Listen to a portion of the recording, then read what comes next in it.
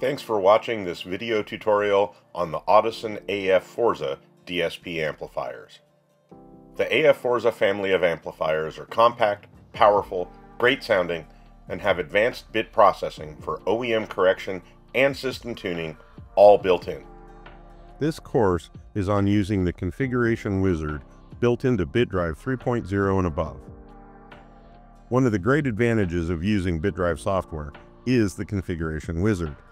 It helps you set all the input and output settings and get your system ready to go in a quick and efficient way. While you might not always need to use every feature that's built into the wizard, it is always the quickest way to get your system ready, even if you want to perform some of its functions manually. This tutorial uses the configuration wizard that's in BitDrive version 3.0. Later versions may have slight updates or changes. Before you begin, where's the test CD? The test tones are now online for you to download. Visit the Audison support page to download them. If a CD is required, you're going to need to burn one. Don't just use a test tone for an older bit device. What sources does my system need? There are four possible combinations. An OEM speaker level source is the default. You can select an aftermarket RCA level preamp source. You can select an optical digital Toslink source. Or you can select some combination of one or two plus number three. Is my OEM source a premium amplified system or a base audio deck power system? In modern vehicles, even base audio deck power systems are using delay and phase manipulation, so we recommend using the dephase process after the configuration wizard is complete. In premium amplified systems, with dedicated active channels for tweeters, mid-ranges, and woofers, many skilled bit drive users skip the de-equalization and de-time steps of the configuration wizard and perform these steps manually. The automated steps are most effective with full range channels, and they may not deliver similar results with high pass or low pass active channels. We'll cover how to do this in the next tutorial on dephase. What volume level should I use when I play the test tones? Use the maximum setting that allows unclipped output of the source unit or factory amplifier. To test this, use an oscilloscope to measure the output of the head unit as you play track 1, sine sweep. The oscope function in the bit tune can be used for this test. If you do not have an oscilloscope, set the volume of the head unit to 75%. Opening the wizard. Start by opening the BitDrive software and select the bit amplifier we want to configure. In this case, it's an AFM 5.11 bit. Click here to maximize the BitDrive software window. As you can see, there are no speakers positioned around the vehicle in the system map on the left. This tells us the device has not been configured yet. This icon at the top the magic wand, reveals the configuration wizard and the Accordo wizard. Select the configuration wizard. Click here to start. Do you need the optical input? The first option allows you to disable the optical input. It's enabled by default. If your installation includes a DRC AC or DRC MP CAN controller, and the optical input isn't being used, it's possible for the system user to accidentally select it with the DRC AC. At that point, the user would lose all system audio until they realized their error and selected the master input again.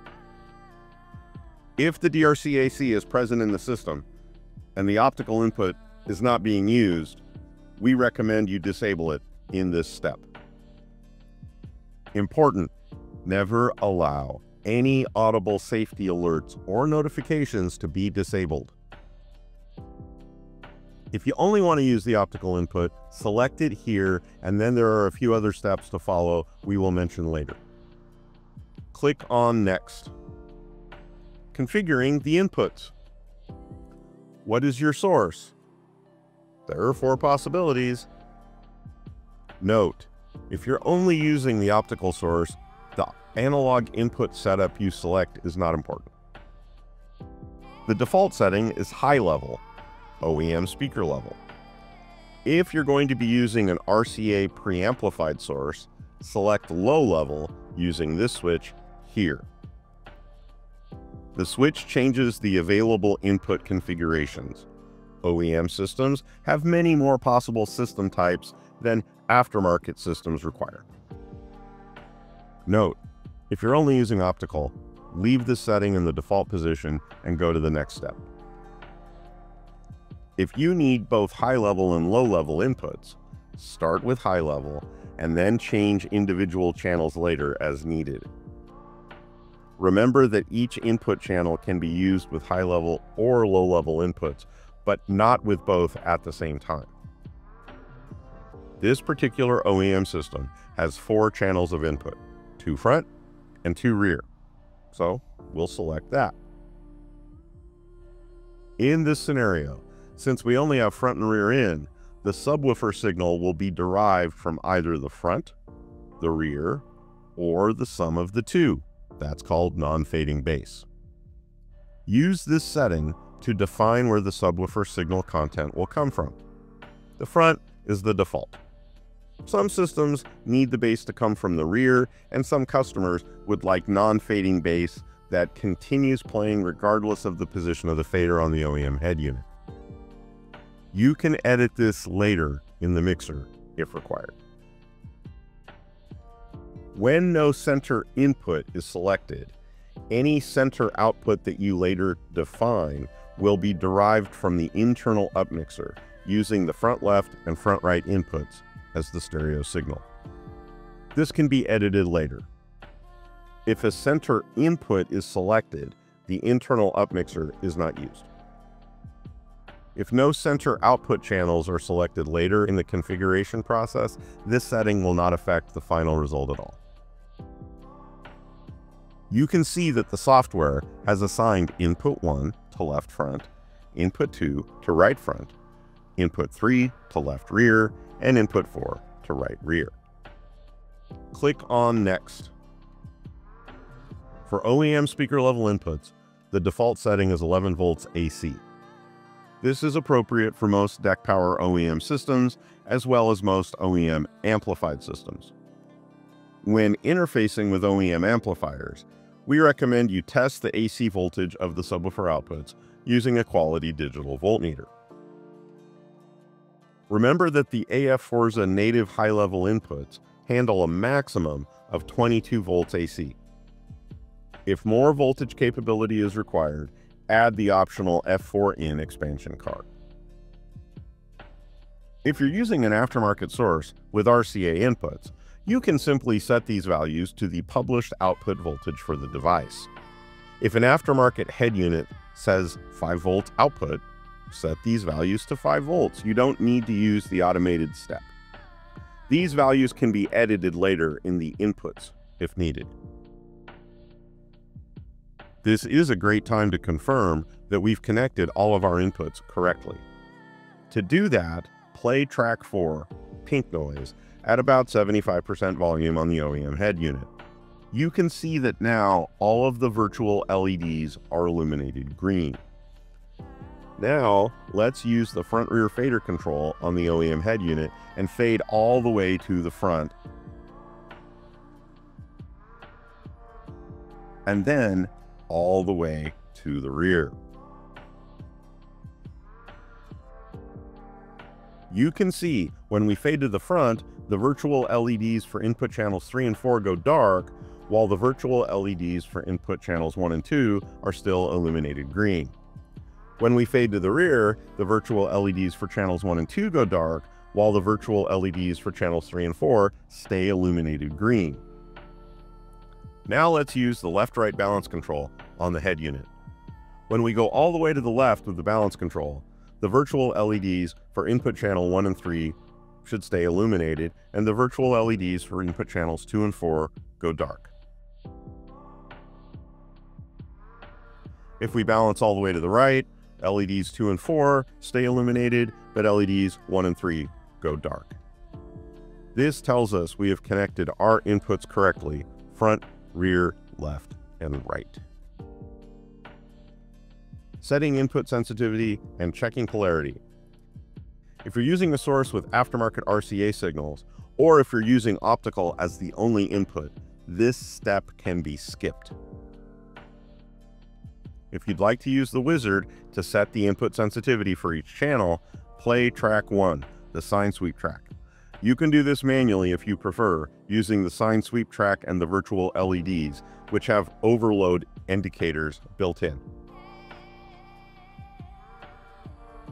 Make certain the doors are closed so we don't get chimes playing over the system during this step. Click on Start to begin the process or click on Next to skip past it. Note, this process usually takes around 90 seconds per channel.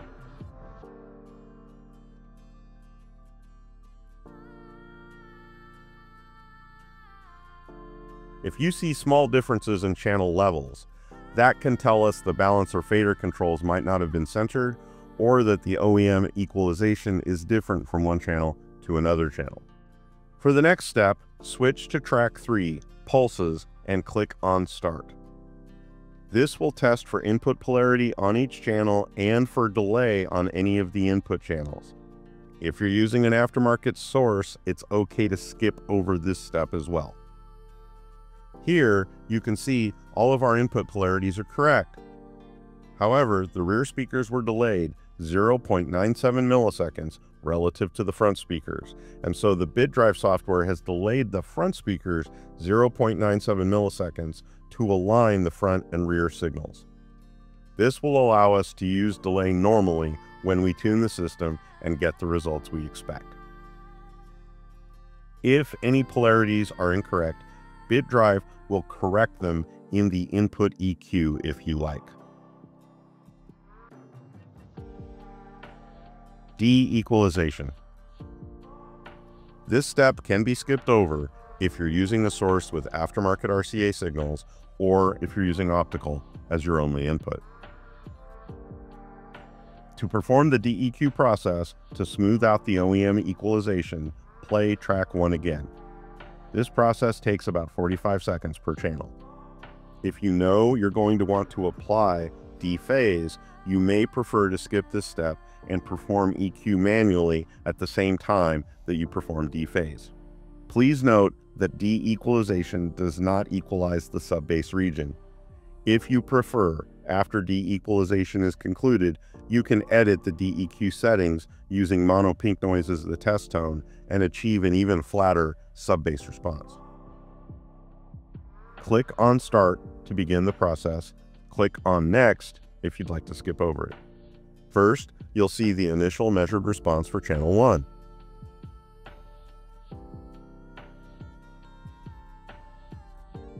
Then you'll see the corrected response for channel 1. Here's the measured response for channel 2. Here's the corrected response for channel 2. Here's the initial response for channel 3. Corrected response for channel 3. The initial response for channel 4. And the corrected response for channel 4. When all the channels are complete, de-equalization is finished. You can repeat the process in case it was interrupted, if the ignition timed out, or if someone accidentally opened the vehicle door in error. When the process is complete, click on Next. You'll be warned to turn down the head unit volume or stop playing the test tone. If you would like to examine the results in more detail, after this process is complete, you can open the input equalization tool and look at the input RTA graph using mono pink noise as a signal. Configuring the outputs. A green icon indicates a preamp output of the bit amplifier rather than one of the amplified output channels. A solid orange circle indicates two output channels bridged together to supply even more power to a speaker. Solid circles indicate actively filtered channels with just a single speaker. Circles connected to each other indicate speakers that share a channel that have passive crossover filters. Now, select the output channel diagram that's closest to the speaker system you've installed. The system options presented differ depending on how many output channels your amplifier has. We're using an AFM 5.11 bit in this example. Let's set it up in a pretty standard front, rear, sub configuration. Now you can see that each output channel has been assigned to a particular type of output, front or rear, passive components, or subwoofer. You can't see it, but each output channel has also been assigned a default starting crossover point and slope. See this column where each speaker is default selected to Other? This is a drop-down list of all the possible Audison or Hertz speakers you might select. If you select a speaker from the list, we will insert our recommended starting crossover point for that driver set.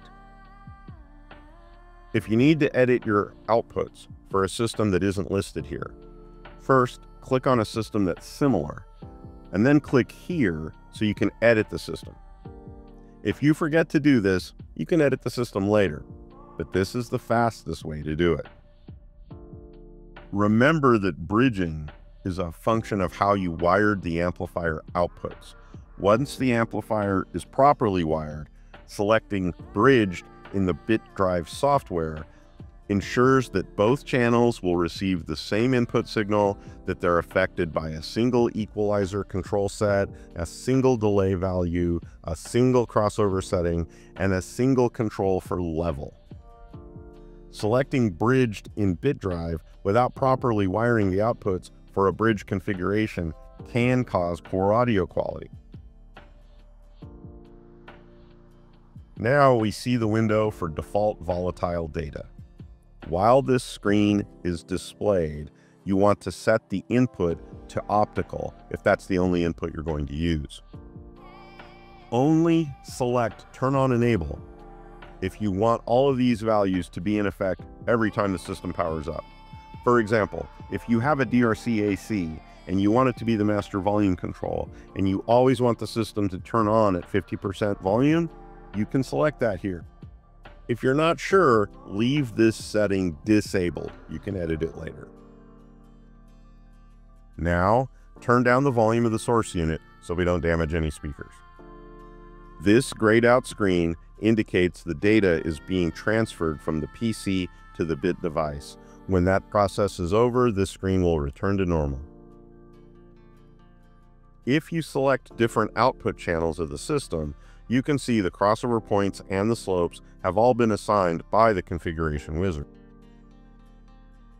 If you try to close the BitDrive software, you will be prompted to finalize the device, in case you forgot, and you'll also be prompted to save a copy of the configuration file to the PC. Congratulations, you've completed the configuration wizard. The next tutorial will address manual dephase and some advanced configuration options.